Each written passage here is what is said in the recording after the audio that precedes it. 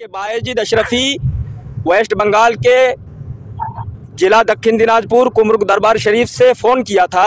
वो आपसे खुला मुनाजरा करने के लिए तैयार है। ठीक है? वो बिल में घुसे ना रहे, गुफे से निकलकर सामने आए। आला हज़रत के खिलाफ बात करने का नतीजा उसको मालूम हो जाएगा। एक गुलाम ही काफ़ी है। समझे? मेरा पैगाम उन तक पहुँचा दीजिएगा। कि अगर एक बाप का औलाद है तो बायजीद अशरफी से मुनाजरा के लिए चैलेंज को एक्सेप्ट करे।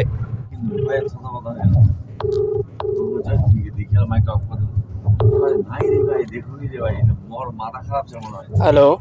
हेलो। आप कारी अहमद हसन साहब बोल रहे हैं? हाँ। अच्छा अच्छा।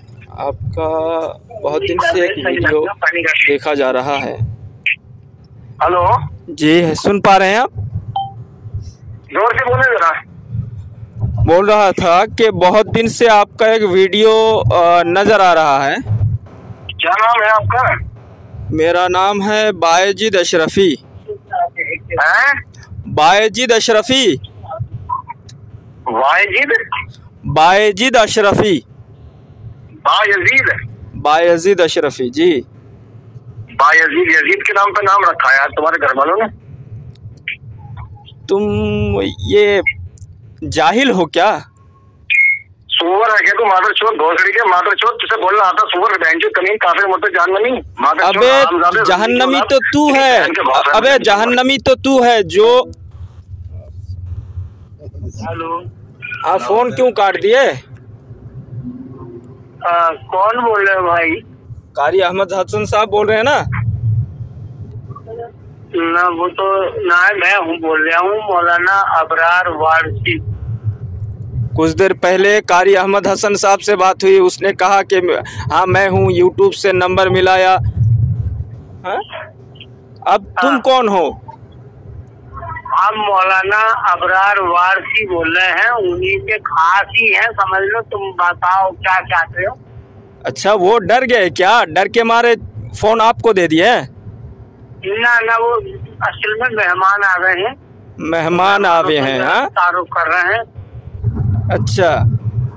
तो हाँ, उनसे कहिएगा कि हमारी जगह तो सुनिए, पहले तो मेरा- आदमी से डर लगता है तुम कोई गलत आदमी हो रही हो। पहले पहले मेरा बात सुनिए आप। मेरा गलत पैगा- सुनिए। डर लगता है चोर से बदमाश सुनिए, मेरा पैगा- खतरा लगता है। मे, मेरा पैगाम उन तक पहुँचा दीजिएगा कि बायजिद अशरफी वेस्ट बंगाल के जिला दक्षिण दिनाजपुर कुमरुग दरबार शरीफ से फ़ोन किया था।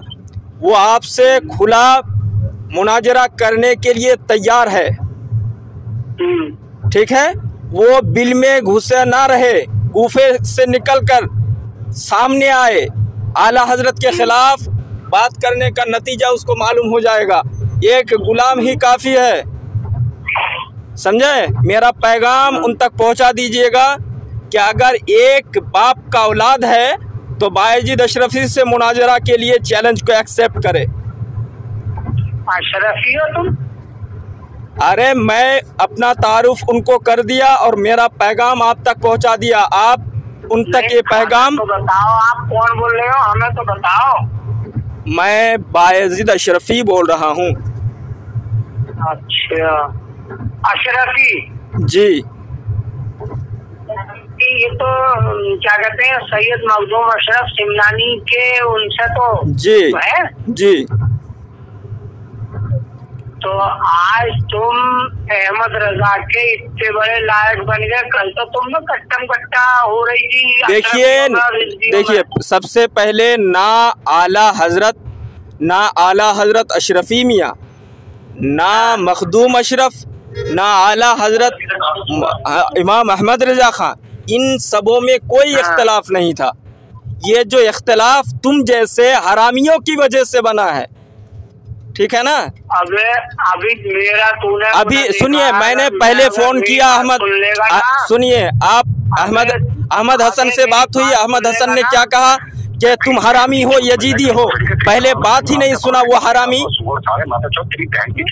देखिए देखिए